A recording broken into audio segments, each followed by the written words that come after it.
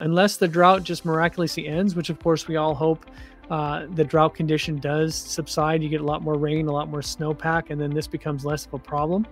Um, that would be you know great for everybody. But um, if that situation doesn't happen and and this drought situation continues you need to do everything you can to make your trees and your crops as efficient in terms of water usage as possible.